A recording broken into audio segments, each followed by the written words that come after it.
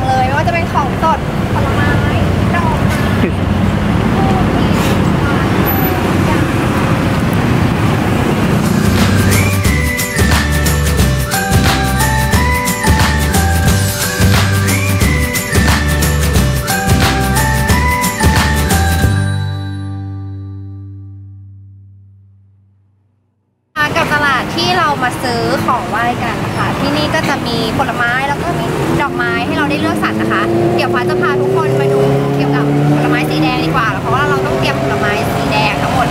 เก้านี่นะคะเป็นผลไม้สีแดงที่เราจะต้องใช้ทั้งหมดจำนวน9ลูกด้วยกันแอปเปิล9ลูกค่ะ เอาลูกแดงๆ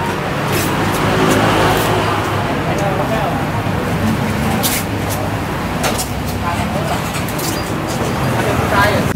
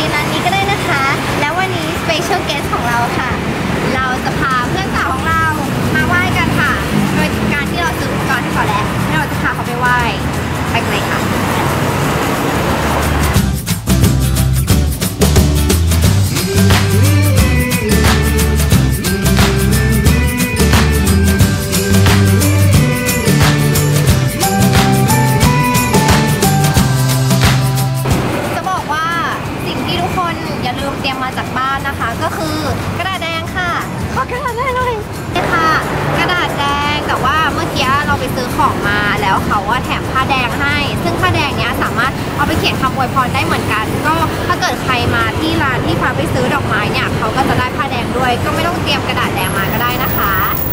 ไปกันต่อเลยดีกว่า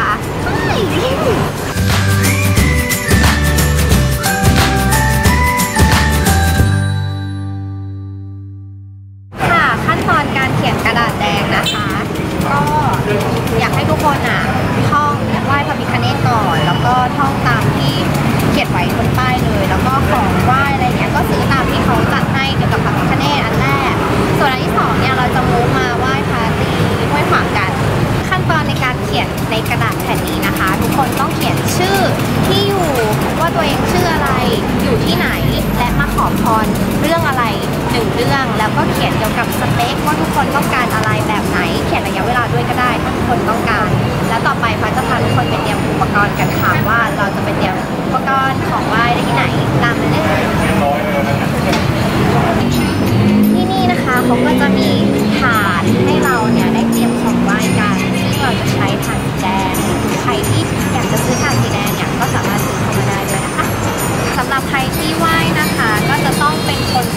กรณ์เองทั้งหมด ซึ่งเราจะให้ special guest ของเราเป็นคนเตรียมค่ะ A few moments later. นี่ค่ะแอปเปิล9 ลูกทูบ9 ดอก เทียน 1 คู่ กระดาษแดง กุหลาบ 9 ดอก แล้วก็น้ำแดง 1 ขวดถาดแดง 1 ถาดค่ะ เสร็จสมบูรณ์แล้วพร้อมไปไหว้ได้เลยค่ะ อันนี้นะคะก็คือของไหว้พระพิฆเนศคือทูบ5ดอก เทียน1เล่มแล้วก็พวงมาลัย1พวงค่ะ ส่วนใครอยากถวายสบายหรือว่าหนูเพิ่มเติมเนี่ยก็สามารถทำได้ตามศรัทธาเลย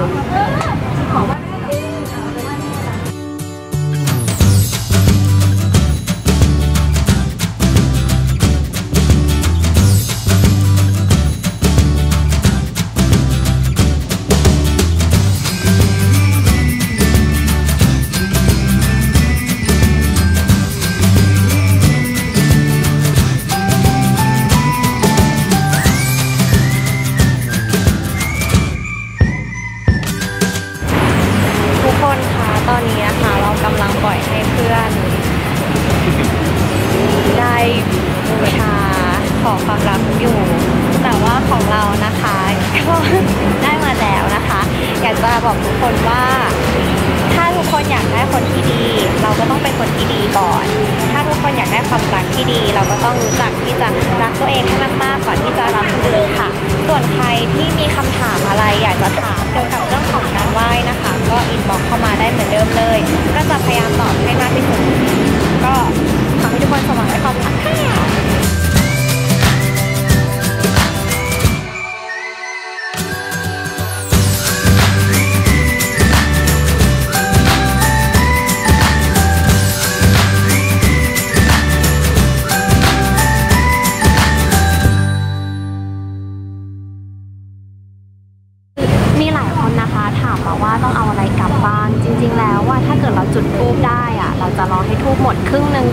ค่อยนำของกลับ แต่ตอนนี้เขาเหมือนรณรงค์กันไม่ให้จุดทูบนะคะ ก็อยากให้ทุกคนเนี่ยสามารถนำทุกอย่างกลับไปได้ แต่ว่าสำหรับฟ้าตอนที่ฟ้ามาไหว้ค่ะฟ้านำแค่กระดาษสีแดงกลับบ้านแล้วนอกนั้นก็คือเอาไว้ให้ที่นี่ใช้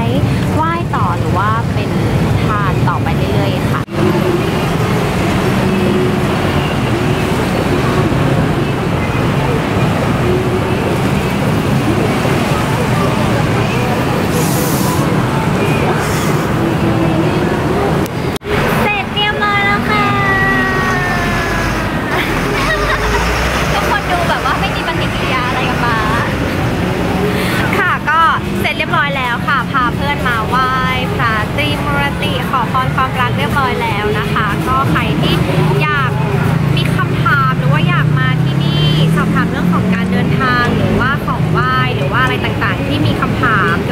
เรื่องของความรักนะคะ ก็สามารถ inbox เข้ามา